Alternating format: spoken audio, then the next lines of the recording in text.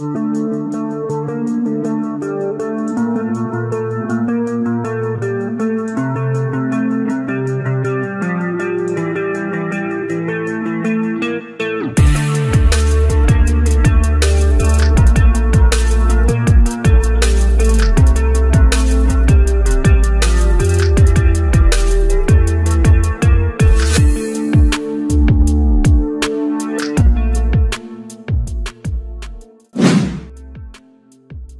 Iran's Air Force on Wednesday unveiled an indigenous unmanned aerial vehicle, UAV, which has been specifically designed and for manufactured for training purposes, Press TV reported.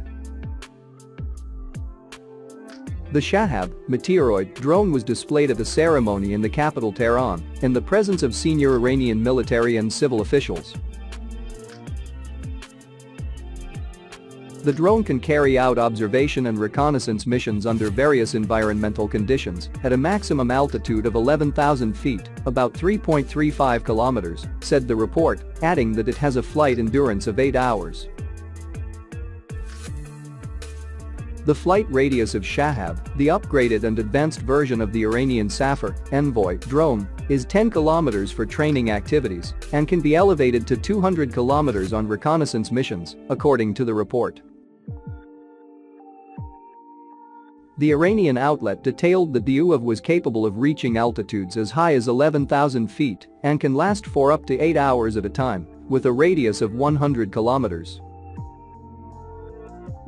The drone also has the ability to extend its flight radius to 200 kilometers for a reconnaissance operation. Shahab has improved balance during takeoff, flight, and landing while sporting a highly aerodynamic design duo new landing gear and V-shaped wings, the outlet revealed. Iranian military experts and technicians have in recent years made substantial headways in manufacturing a broad range of indigenous equipment, making the armed forces self-sufficient in the arms sphere. Iranian officials have repeatedly underscored that the country will never stop working to strengthen its military capabilities for defense purposes. Not too long ago, in late August, the Iranian Defense Ministry presented new defense industry achievements, including a strike drone and an air defense system, at the Defense Industry Week exhibition in Tehran, in the presence of President Ebrahim Raisi. The ministry unveiled a cruise UAV, unmanned aerial vehicle called Ababil, which is equipped with an optical seeker and a warhead capable of catching different targets, transmitting their image in real time, and eventually destroying them, according to local media.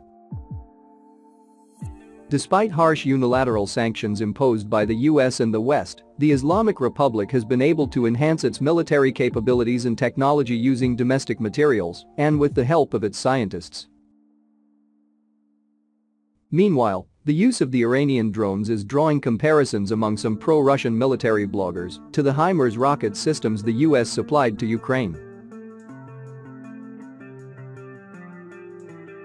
The HIMARS did much to disrupt Russia's ability to bring artillery munitions to the front, changing the course of the war. The new weapons also have been used at the front, with some Russian military bloggers publishing images of Ukrainian armored personnel carriers and artillery pieces they said were destroyed by the Shaheds, a scenario supported in a report by the Wall Street Journal.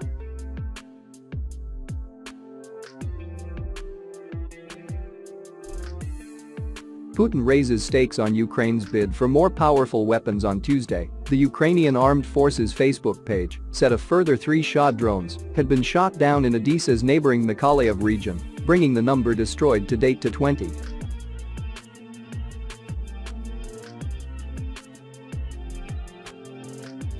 Just to cover Odessa said legitimate, a pro-Russia military blogger with 718,000 subscribers, you need air defense for billions of dollars and hundreds of millions more for maintenance.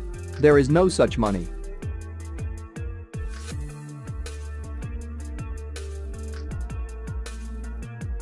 There's excitement on pro-Russia sites, too, that the drones could be used in swarms to destroy Ukrainian anti-aircraft batteries and give Russia the air superiority it has lacked throughout the war. Those hopes are unlikely to be realized, according to Western military analysts. Yet for now the Iranian munitions present a new threat to Odessa, Trukhanov said. We will now find a way to combat the drones, effectively Trukhanov said on Tuesday, shortly after another air raid siren forced him to interrupt an interview and move to the city's Hulls bomb shelter, a basement movie theater.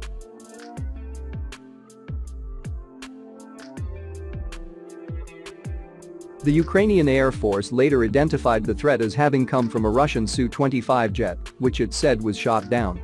In the afternoon three drones, as yet unidentified, were also destroyed, the Air Force said.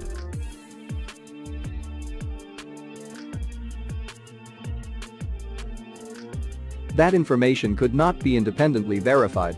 Trukhanov pointed to the possibility of buying anti-drone systems from Israel, which has been dealing with Iranian loitering munitions for decades.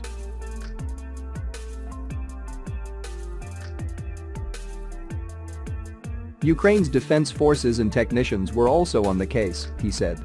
Russia took delivery of 1,000 drones from Iran at the end of August, according to the US.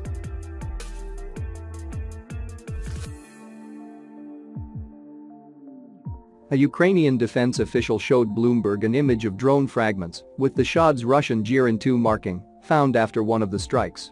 The Shahed-136 can be used in numbers, forcing Ukraine to defend against them with anti-aircraft missiles that can cost hundreds of thousands of dollars each.